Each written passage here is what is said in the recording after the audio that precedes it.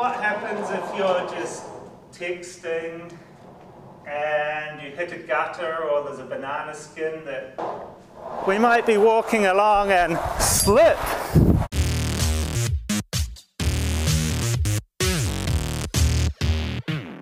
The experiment we're doing today is to see how people respond to hazards and whether other tasks that they're doing like texting on their phone is going to make them likely to just walk in front of a bus or not be able to recover.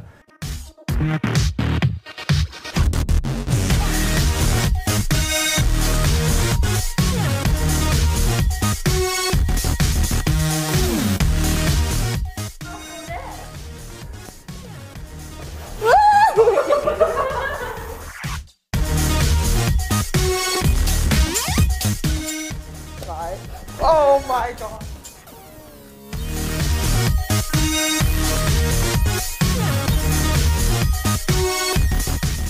Please use your phone to, to uh, texting um, without errors uh, and type in the sentence The quick brown fox jumps over the lazy dog.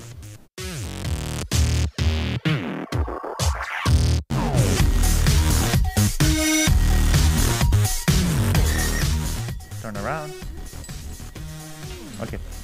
Start texting and walking in three, two, one, go.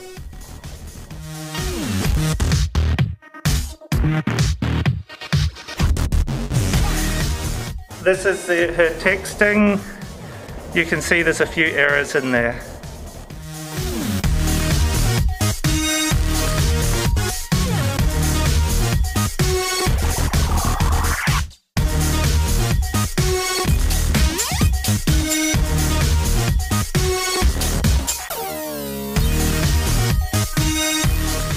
Humiliating. Everyone give her a round of applause.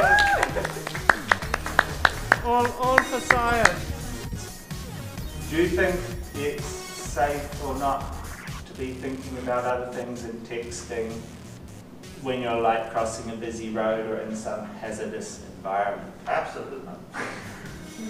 Or will we see that it makes no difference because this young generation has grown up with phones and they've become part of their system and actually it makes no difference to them now. But us old guys, if we were to text, we couldn't cope. We'd probably walk into a lamppost.